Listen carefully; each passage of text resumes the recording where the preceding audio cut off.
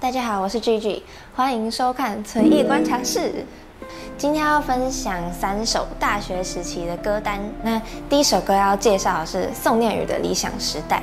理想时代，理想发展，理想实在，现实把谁偷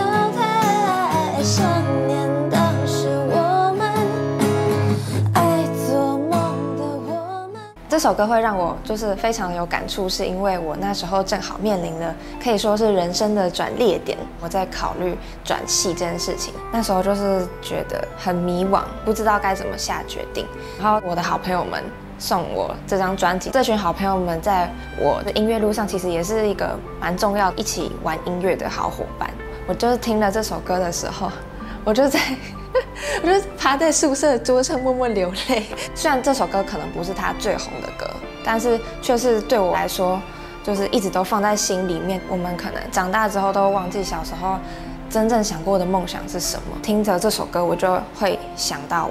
我做音乐的初衷，所以就是有点像梦想的起点的感觉。那第二首歌要讲的是追梦的人，然后也是我自己写的歌。你下了一场大雨，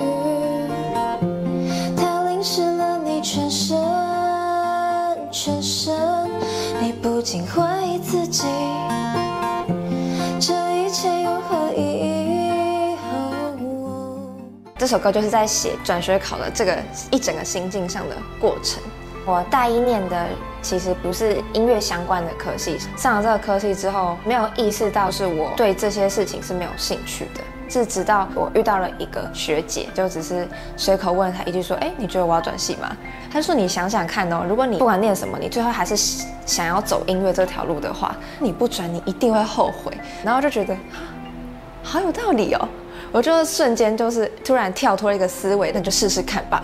那时候已经暌违了整整快一年都没有写歌。我那天就是背着我的吉他，觉得我应该要找个灵感圣地。我还没走到那边的时候，就开始下雨。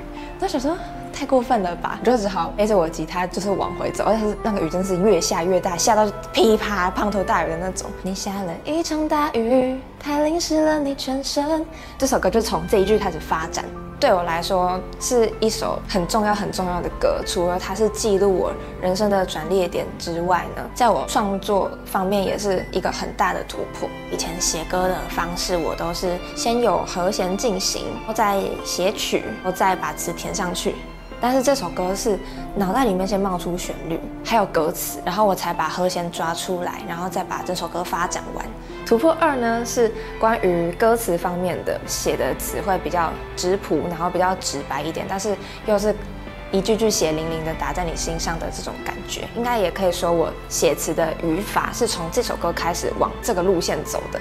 第三个突破是这首歌是我第一次用一个上帝视角去写歌，要去看一整个故事，然后这也是我第一次把别人的故事也写进我的歌里。虽然决定要走音乐这条路，但是还是会有很多很多的迷惘。我每一年每一年回来看，都还是觉得很有感触。就现在的我来说呢，因为我是从台南搬到台北上来的，在唱这首歌、练习这首歌的时候，我也是一度就觉得自己被自己很感动。对，然后就是觉得追梦的人就是要这样子，我我愿意为了我的梦想。去牺牲我很多很多的事情，牺牲掉我的所有，我也要去完成我的梦想的这种感觉。那第三首歌要分享的是《最后的晚安》，是我跟我一个好朋友叫做小爱，我们一起完成的作品。最后一次的晚安，不必再承担谁被谁宠爱，越是害怕谁离开。越小心对待，越放不开。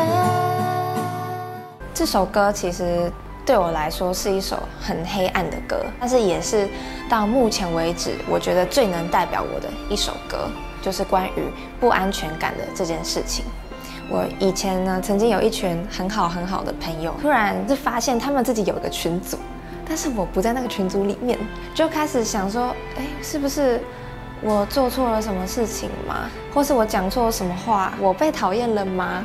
就是就开始去想这件事情。那一群朋友就是那时候是我一直放在心里面，就是很重要的位置，其实还蛮难过的。我花了整整一年的时间在纠结这件事情，但是其实就是最后得到的结论就是其实也没什么，就只是。我们本来就不是同一个调调的人，在那么多人里面，自然而然会形成这个小圈子，也不想要再耗费自己的心力，就是勇敢的跳脱不属于我的圈子。那除了在讲关于不安全感的人生课题，就没有一段 rap，是那段歌词是在讲说，我是一个对待别人比对自己好的人。我很努力的满足我身边的所有人的需求，不是因为我觉得这个世界上就是应该要有这么善良或是像个太阳一般的人存在，我觉得不是这样，而是因为我在做这件事情的时候，我有感受到被需要的这这个东西，只有在我感受到被需要这件事情，才会让我觉得我存在在这个世界上。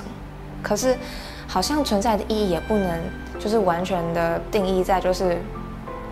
对别人应该要从自己本身出发，对。但是我那时候就是在思考这件事情，就是我存在的意义到底在哪里？那其实这首歌想要表达的是，我在副歌里面写到的，说或许没有人是被抛弃的，只是走的路不一样了。就算哪天谁又离开了，总会有人接住我的。不管发生什么事情，还是会有一个人去接住你。那我最近的感悟是，就是这个人呢，他不一定是要就是你身边的好朋友，或是你的家人，或是什么，因为有很多时候其实是自己接住自己的。